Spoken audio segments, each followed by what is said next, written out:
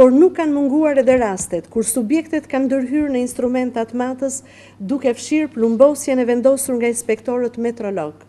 Për të gjitha këto raste, në përputhje me legjislacionin për metrologjinë, janë mbajtur aktkontrollet përkatëse, janë bërë plumbosjet e instrumentave dhe janë marrë masa me gjobë. Kjo ishte një nga daljet e Drejtorisë së Përgjithshme të Metrologjisë. e cila konstatonte karburantet të cilët kanë vjedhur në peshën që i kanë shitur klientëve të tyre, por që atë ditë dhe deri më sot janë bërë tetë muaj që qytetarët nuk e dinë ende ku të drejtohen për të furnizuar makinën e tyre.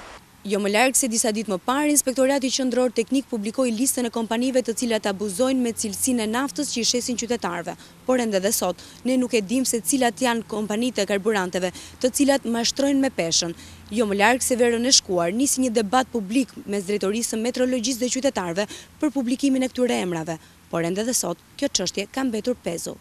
Vjedhjen e karburantit si në sasi por dhe në cilësi, të parët që e ndjenë në Shqipëri janë taksistët. Sipas raportimeve që kanë nga terreni, shoqata e taksive thotë se janë të pafundme rastet kur për të njëjtën sasi litrash që blen një shofer, Taksimetri tregon kilometra të ndryshme. Në të njëjtin vend, po të marrësh disa herë naftë, çuditërisht, një herë bën një sasi kilometrash të caktuar dhe pjesën herën tjetër bën më pak se sa këto kilometra të caktuara. Kjo tregon që përsëri vazhdon të abuzohet me litrat. Ku janë interesat e tyre që nuk i publikojnë emrat e këtyre? Ndërsa shoqatat e biznesit thonë se duhet të marrë fund një herë e mirë fshehja e emrave të abuzuesve, pasi në këtë mënyrë penalizohen edhe sipërmarrësit e ndershëm. Gjergj Buxhuku thotë se vëmendja më e madhe duhet të jetë te cilësia e naftës. Me një xhiro vjetore që e kalon një miliard euro që në vit dhe natyrisht është një treg shumë i rëndësishëm.